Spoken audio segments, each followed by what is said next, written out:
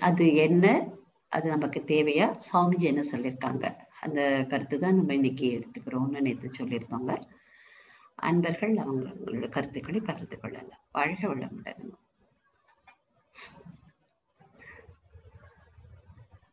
அம்மா கேள்வி இன்னொரு முறை சொல்லிருங்கம்மா. சரி. பொதுவா உம் இப்ப தவங்கள்லாம் செய்யும் பொழுது சித்தர்களுக்கு வந்து அஷ்டமா சித்தி அப்படிங்கிறது சித்திக்கும் அப்படின்னு சொல்லுவாங்க. அதாவது அவங்க நினைச்சதெல்லாம் நடக்கும். எப்படி எல்லாம் தன்னை மாற்றிக்கொள்ளணுமோ அது மாதிரி எல்லாம் நடக்கும் அப்படிங்கிறது பொதுவான ஒரு கருத்து இருக்கு. அது சாத்தியமாகவும் இருந்தது. ஆஹ் அப்ப அதெல்லாம் என்ன? அது இன்னைக்கு நமக்கு தேவையா? அதுக்கு அதை பத்தி சுவாமிஜி என்ன சொல்லியிருக்காங்க அப்படிங்கிறது தான் நம்மளுடைய இன்றைய கலந்துரையாடல். வாழ்க வளமுடன்.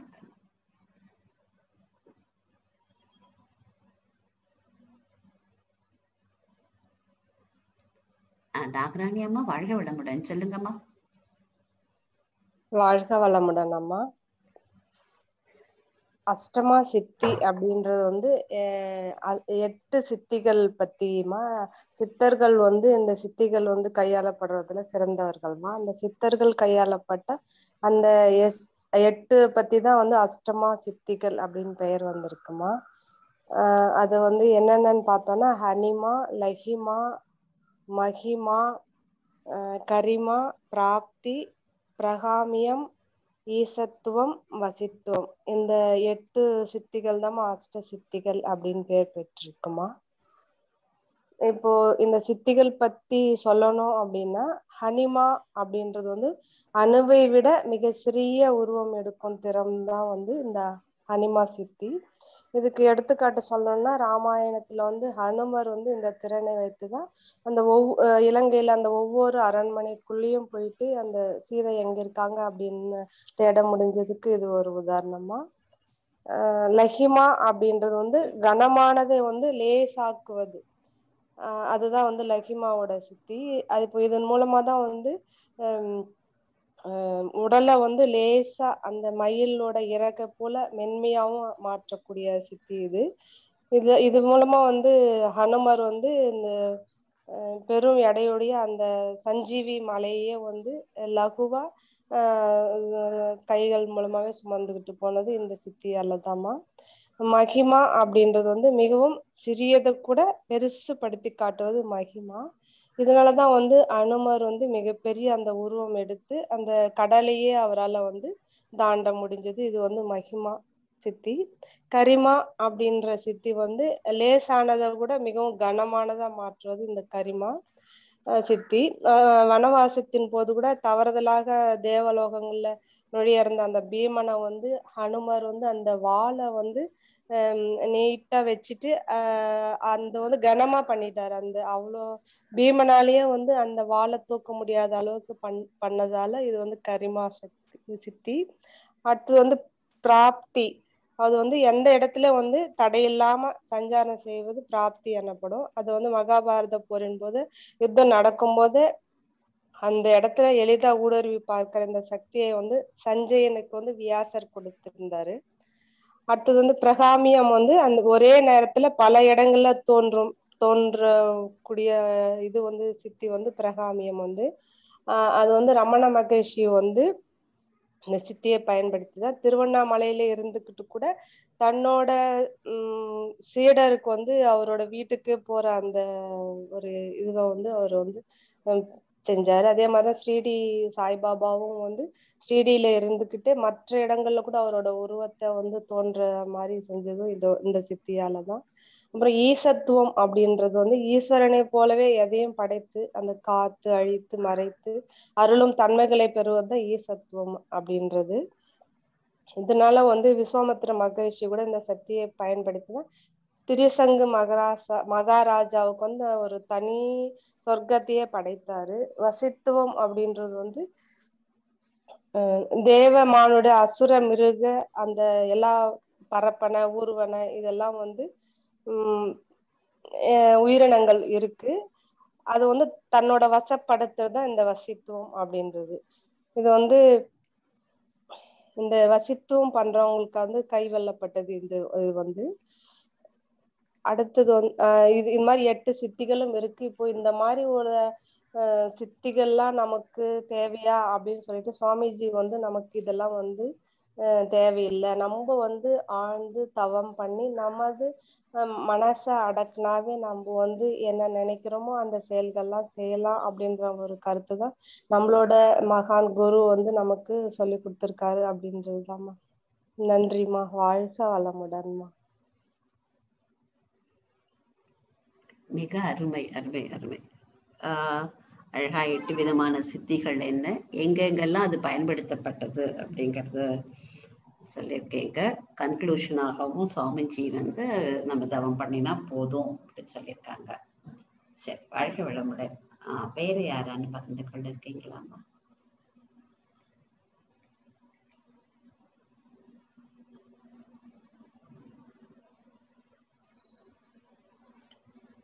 வாழ்க வளமுடன். வாழ்க வளமுடன் வாழ்க வளமுடன். வாழ்க வளமுடன். வாழ்க வளமுடன்மா நாகராணி அம்மா எவ்வளவு கரெக்டா ஒவ்வொரு நல்லா ஆராய்ச்சி பண்ணி நல்லா கொண்டு வந்த அட்டமா சிருஷ்டிகள் எவ்வளவு விளக்கம் அதெல்லாம் எட்டு சித்திகள்லாம் சொன்னா ஆனா நல்ல விளக்கம் எல்லாம் கொடுத்தாங்க. ம- சொன்ன மாதிரி மகிழ்ச்சி வந்து சித்துங்கிறது வந்து ஒரு கரு உருவாகி அந்த குழந்தையா வர்றது இதை விட சித்து பெரிய பெரிய சித்து உலகத்திலேயே இல்ல அப்படிங்க. இதை விட பெரிய சித்து ஒண்ணுமே இல்ல. இந்த ஒரு துளி விந்து நாதமும் சேர்த்து கருவா மாதிரி இந்த விட ஒரு சிறந்த சித்து இல்ல அப்படிங்கறத மகிழ்ச்சி நல்லா நம்மளுக்கு விளக்கியிருக்காங்க. இதெல்லாம் தேவையில்லை அப்படிங்கிறது தான் மகிழ்ச்சி கருத்து. அது மகிழ்ச்சி ஒரு பாடல் கூட எது எது தேவைங்கிறது அவர் இத்தனையும் நித்திய அனித்திய நிலைமறவாத மொத்த உயிர்வில் உலகை நோக்கும் தத்துவ ஞானமும் தவத்தின் வலிமையும் சுத்தமா ரத்தம் சுழலும் ஆரோக்கியமும் உத்தம வாழ்விற்கு உகந்த செல்வமும் எத்தகைய உயிரின் துன்பம் போக்கும் சித்தமும் செயலில் கடமை அறமும் இத்தனையும் பெற்று இனிதே வாழ்வேன் ஒரு பாடல்கள் இதுதான் நம்ம வாழ்க்கைக்கு தேவையான சித்துக்கெல்லாம் நம்மளுக்கு தேவையில்லை. ஏன்னா இயற்கையே எவ்வளவோ சித்துகள் விளையாடுது. நம்ம வாழ்க்கைக்கு தேவையானது இவ்வளவு அப்படிங்கிறத ஒரு பாடல்ல குறிப்பிட்டிருக்காங்கம்மா. வாழ்க வளமுடன் வாழ்க வளம் வாழ்க வளமுடன் அம்மா ரொம்ப அழகான ஒரு பாடல இதுலயே சித்து சித்தி அப்படிங்கிறது என்னன்னா கடமையார மாற்றுவதுதான் சித்தி. ரொம்ப ரொம்ப அழகா சொல்லிருக்கீங்க. அதே மாதிரி கரு உருவாவது அதை விட சிறந்த சித்தி இது அப்படிங்கிறது. இன்னும் நிறைய இடத்துல சுவாமிஜி சொல்லியிருக்காங்க. இதுதான் சித்தி அப்படிங்கறதெல்லாம் பார்க்கலாம். நம்ம அடுத்தடுத்து வரக்கூடிய அன்பர்கள்ல என்ன கருத்து சொல்றாங்க? ரொம்ப அழகா இருந்தது அம்மா. வாழ்த்துக்கள். வாழ்க வளமுடன் அம்மா. ஆனந்தி அம்மா அம்மா வாழ்க வளமுடன். சொல்லுங்கம்மா. வாழ்க வளமுடன். அற்புதமான கேள்வி. ரொம்ப எல்லாரையும் சிந்திக்க வைக்கிறீங்க. அந்த எட்டு என்னன்றத நல்ல அழகா உதாரணங்களோட சொன்னாங்க. ராஜலட்சுமி அம்மா அதை கவிதையாவே சொல்லிட்டாங்க. நிஜமா சந்தோஷமா இருக்கு.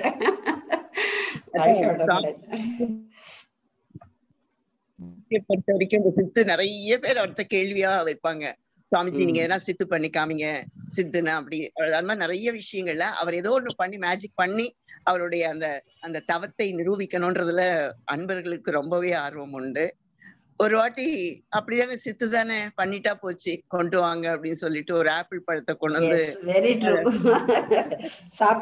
பொடியா நறுக்கி வச்சு சாப்பிட்டு "ஏய், இப்ப ஆப்பிள் என்னோட உடம்பா மாறிட்டு இருக்கு அதுதான் சித்து அப்படின்ற மாதிரி ஒரு அனுபவம் உண்டு.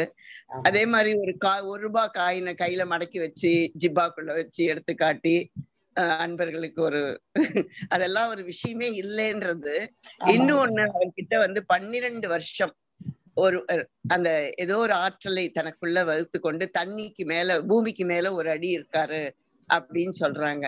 அப்ப அவர் சொல்றாரு இதுக்காக பன்னெண்டு வருஷம் உழைக்காம சமுதாயத்தோட உழைப்பை கொண்டு வாழ்ந்துட்டு இந்த ஒரு அடி தூரம் மிதக்கிறதுக்கு ரூபா கொடுத்து பிளைட்ல ஏறி உட்கார்ந்தா தன்னால மிதக்கலாம். ரொம்ப தூரம்.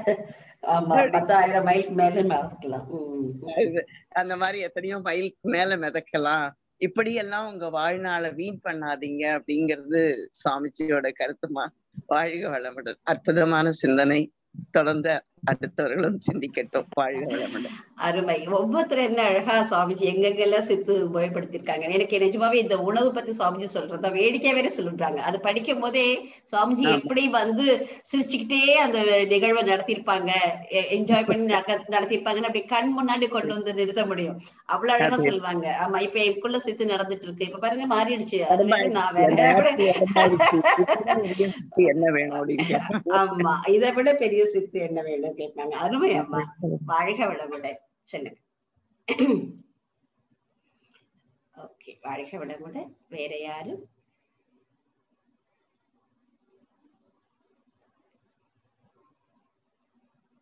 அனிதாம்மா சாந்திமா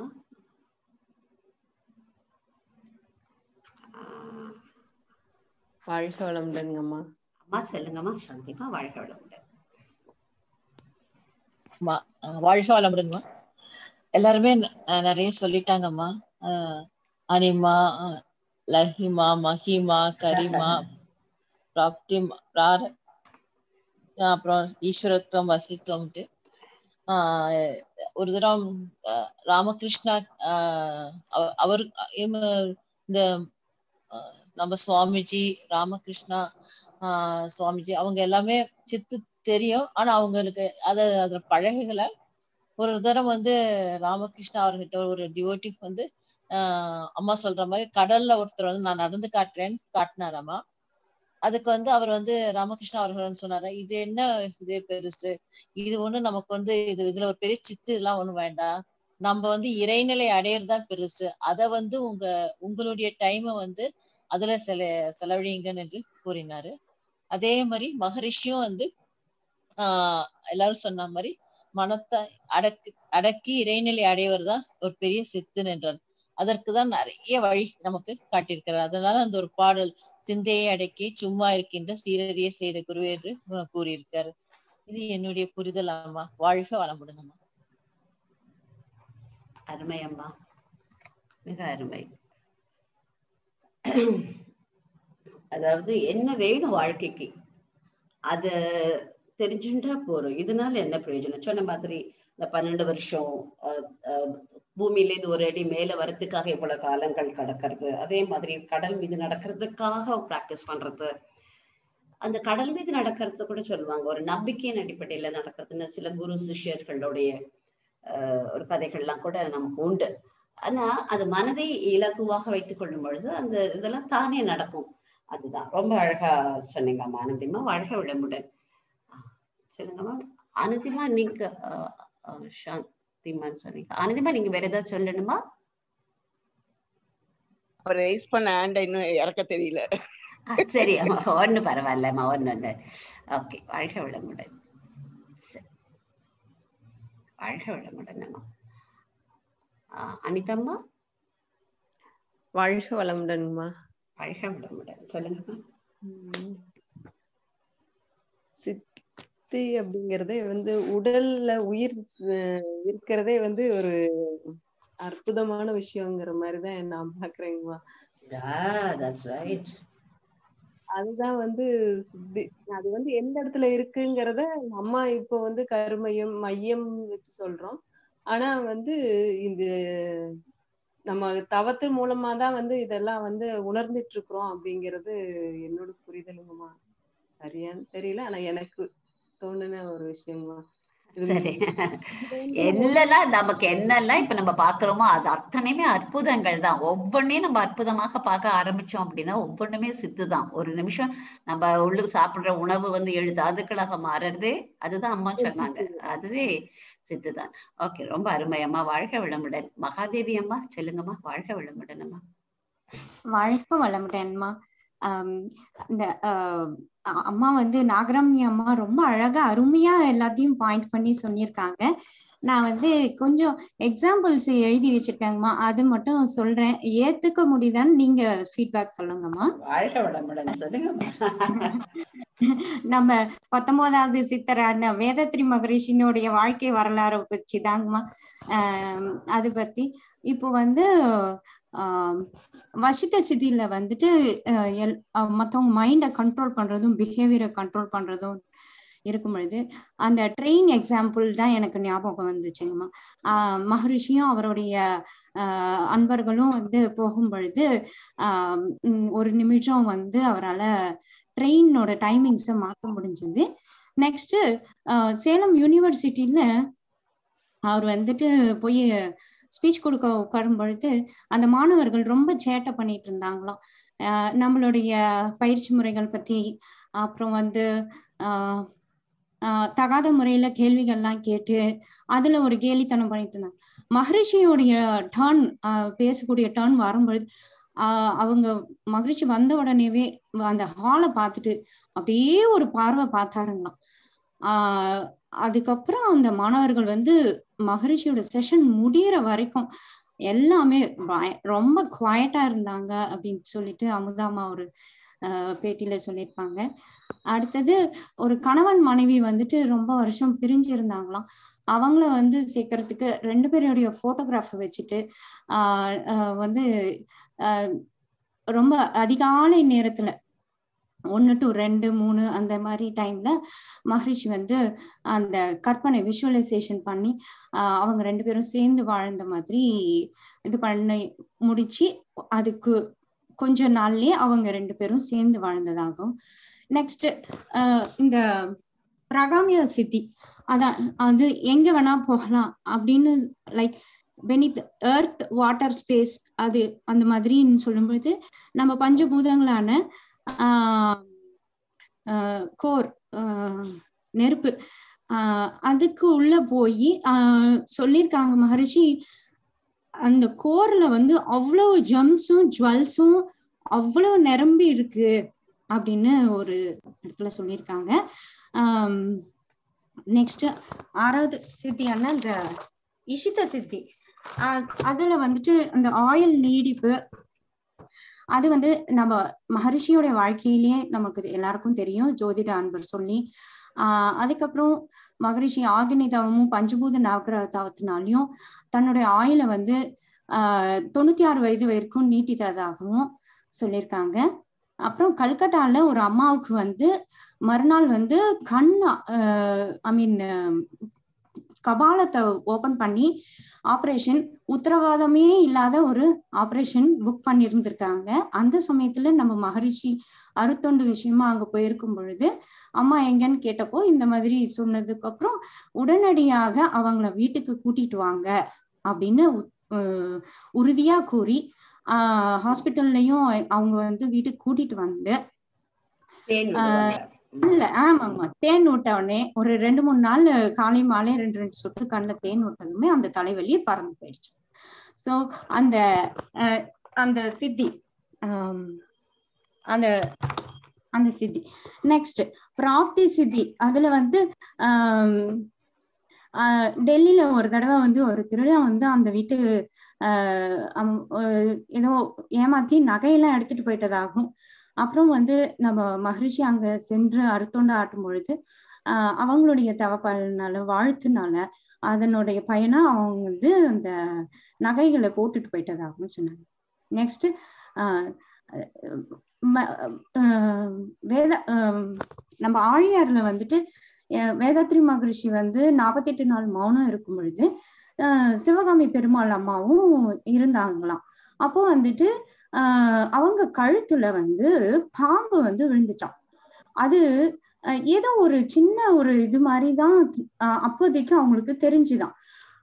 அவ்வளவு லைட் வெயிட்டா விழுந்துச்சான் மௌனம் எல்லாம் முடிஞ்ச பிறகு மகரிஷி சொன்னாங்களாம் அதுக்குன்னு ஒரு தனியான பிரீதிங் டெக்னிக் இருக்கான் அது வந்து அவங்க அவங்களுக்கு பாதிப்பு கொடுத்துடக்கூடாதுன்றதுக்காக அந்த லைட் வெயிட்டா இருந்ததாகவும் கீழே இறங்கி ஓடும் பொழுது அதோடைய ஒரிஜினல் வெயிட்டுக்கு வந்துட்டதாகவும் அதை வந்து நான் அந்த மாதிரி பாக்குறேங்கம்மா சோ இதுதாங்க நான் பகிர விரும்பினது. ஆஹ் அனைத்தும் மகரிஷியின் பாதங்களில் சமர்ப்பணம். வாழ்க வளமுடன். அருமை அருமை அருமை. சுவாமிஜியோட அதுதான் பொதுவா நம்ம சொல்லியிருந்தோம் நம்மளுடைய வாழ்க்கையில நடக்கக்கூடிய ஒவ்வொரு விஷயங்களையுமே நம்ம அற்புதமாக பார்த்தோம் அப்படின்னா அதுவே சித்து அப்படின்னு. ஆனா ரொம்ப அழகா ஒவ்வொரு சித்துக்கும் வந்து நீங்க அஹ், சுவாமிஜியினுடைய லைஃப்ல இருந்து எடுத்து ரொம்ப அழகா கொடுத்துருக்கீங்கம்மா. அருமை. இந்த தேடுதல் தான். இப்ப எத்தனை பேருக்கு எவ்வளவு ஒரு ஆஹ், விஷயங்கள் தெரிஞ்சிருக்க பாருங்க. அருமை அம்மா. ரொம்ப அருமை. வாழ்க வளமுடன். சரி. அப்ப இப்படி நிறைவை நோக்கிடலாம் நினைக்கிறேன். இதனுடைய கண்டினியூவேஷன் இருக்குன்னா நம்ம நாளைக்கு பகிர்ந்து கொள்ளலாம்.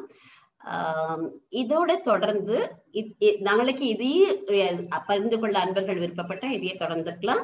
இதை சார்ந்து ஒரு கேள்வி இன்னைக்கு என்னன்னா ஆஹ்,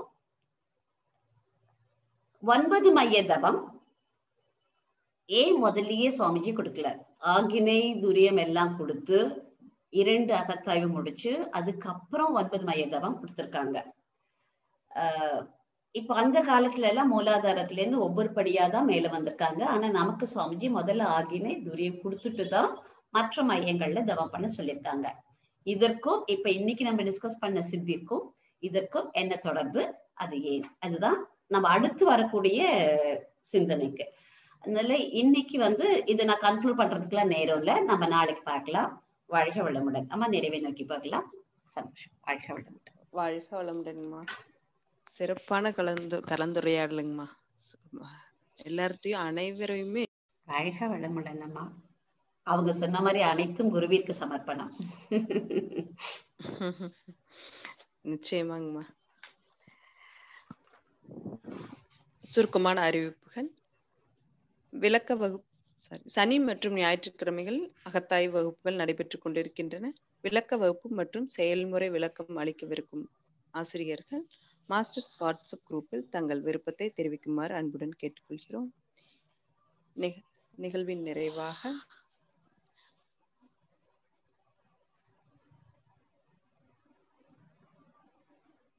வேதாத்திரிய பாடல் பாட வனஜா அம்மா அவர்களையும் அம்மா.